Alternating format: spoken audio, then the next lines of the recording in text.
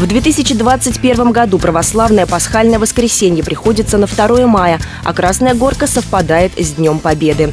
Для удобства жителей в праздничные дни организуют движение дополнительных бесплатных маршрутов автобусов от железнодорожной станции Одинцова до остановки кладбища Лайковская на Красногорском шоссе и обратно. Автобусы будут ходить 2 и 9 мая с 8 до 16 часов. Интервал движения составит 20 минут.